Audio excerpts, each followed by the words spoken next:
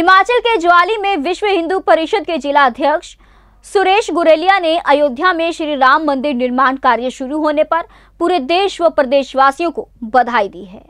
उन लाखों राम भक्तों को याद करते हुए श्रद्धांजलि देते हुए महान आत्माओं को नमन किया है, जिन्होंने राम मंदिर निर्माण के संघर्ष में अपना बलिदान दिया है। यहाँ पर एक पत्रकार वार्ता में उन्होंने कहा कि उन्हें व उनके कई सहयोगियों को राम मंदिर के शिला पूजन से लेकर कई अन्य गतिविधियों में भाग लेने का मौका मिला है।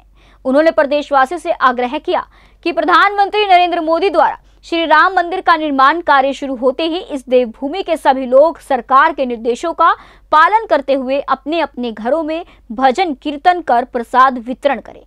इसके बाद शाम सात बजे अपने घर के दरवाजों पर ग्यारह दीपक जलाएँ। उन्होंने कहा कि विश्व हिंदू परिषद व एकल विद्यालय के कार्यकर्ता इस दिन अपने घरों या अन्य सार्वजनिक स्थानों पर फलदार और औषधि युक्त पौधे लगाकर उनकी सुरक्षा करने का भी संकल्प लेंगे, ताकि इस दिन को ऐतिहासिक बनाया जा सके। ज्वाली से संवाददाता दौलत चौहान की रिपोर्ट। हमारे लाखों बलिदानियों का एक सपना पूरा हो रहा है, जो कि वो देख तो नहीं सकते, लेकिन हम लोग इस क्षण को देख रहे हैं। तो सबसे पहले तो मैं उन लोगों को श्रद्धांजलि देता हूँ, जिन्होंने राम मंदिर के लिए अपने प्राणों की औती दे और देश के प्रधानमंत्री, राम भक्त, माननीय मोदी जी, पाँच तारीख को इसका शिलान्यास करेंगे मंदिर का। और एक नया इतिहास बनने जा रहा है। वर्षों से 500 वर्षों से जो हम एक संघर्ष करते आए हैं। तो उसमें एक सपना पूरा हो रहा है। इस संघर्ष में मैं भी 80 के दशक से इसके साथ जुड़ा हूँ। सबसे पहले मैं माननीय स्वर्गीय रंगीला राम जी, जो एक संतों की टोली लेके आए थे, सबसे मैं जुड़ा हूँ।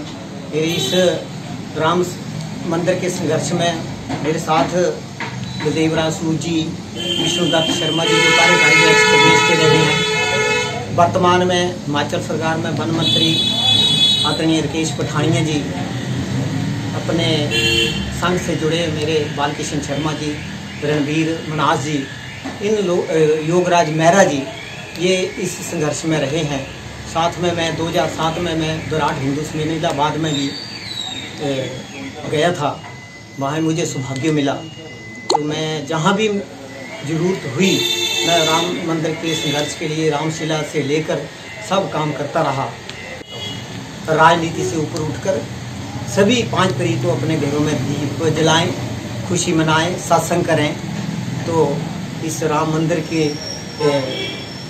शिलान्यास में उनकी भी औती पूरी होती है राम मंदिर बन गया। विश्व हिंदू परिषद के मैं, इसमें इसका जो भी काम था वो किया, लेकिन अभी भी विश्व हिंदू परिषद के ऊपर बहुत चुनौती है।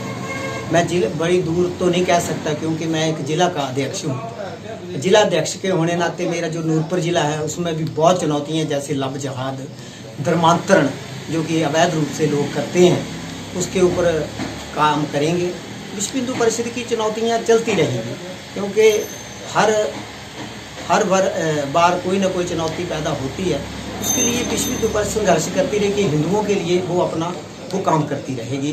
जैसे आगे हमारी प्रयास रहेगा कि विश्व हिंदू परिषद का कि जो भी हमारे हिंदू समाज, जैसे श्रीनगर में हमारे पंडित जो वर्षों से अपना जीवन बिता रहे हैं सड़कों के ऊपर, हम फिर प्रयास करेंगे कि वो अपने श्रीनगर अपने घरों को वापस जाए। कार्यकर्ताओं को सूचना दी है। सभी जगह अपने फलदार वृक्ष जहाँ जहाँ ज़रूरत है। लाखों लोग कार्यकर्ता हमारे जो एकल के विद्यालय के हैं, जो हमारे विश्व हिंदू परिषद के कार्य, बजरंग दल के कार्यकर्ता हैं, वो हर जगह अपना वृक्षारोपण कर रहे हैं।